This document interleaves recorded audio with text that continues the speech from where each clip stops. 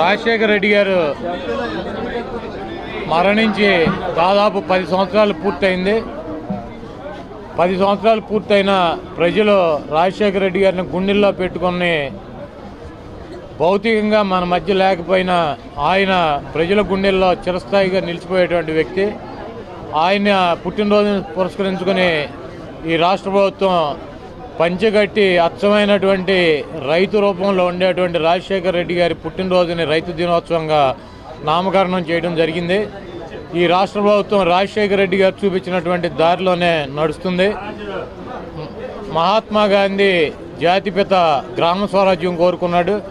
ఆయన కోరుకున్నటువంటి గ్రామ స్వరాజ్యం స్థాపించడానికి అక్టోబర్ రెండు గ్రామ వాలంటీర్లని గ్రామ సచివాలయ ఉద్యోగుల్ని పెట్టి ఈ రాష్ట్రంలో నాలుగు లక్షల మందిని గ్రామాల్లో పనిచేయడానికి వార్డుల్లో పనిచేయడానికి ప్రభుత్వం నిర్ణయం తీసుకుంది.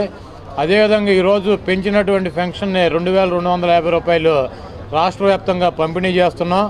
మరి రైతులకే కాకుండా కౌలు రైతులకు కూడా కలిపి అరవై ఎనిమిది లక్షల మంది రైతులకి పన్నెండు వేల ఐదు వందల రూపాయలు మరి వ్యవసాయానికి ఆదుకోవాలన్నటువంటి ఉద్దేశంతో మరి ప్రతి సంవత్సరం అక్టోబర్ పదిహేనో తారీఖున రైతులందరికీ పన్నెండు వేల ఐదు వందల రూపాయలు ఇచ్చేటువంటి కార్యక్రమం. అదేవిధంగా అనేక కార్యక్రమాలు తీసుకొస్తూ రాజశేఖర రెడ్డి గారు చూపించినటువంటి దారిలోనే వైఎస్ఆర్ కాంగ్రెస్ పార్టీ జగన్మోహన్ రెడ్డి గారు మేము నడుస్తున్నాం. మాకు మా పార్టీ జెండాలోనే రాజశేఖర రెడ్డి గారి బొమ్మ ఉంటుంది. ఆయనే మాకు ఆదర్శం. ఆయన తీసుకున్నటువంటి నిర్ణయాలే కాకుండా అంతకు మించినటువంటి జగన్మోహన్ రెడ్డి గారు ఎన్నికల్లో తమిలో చాలా స్పష్టంగా చెప్పారు.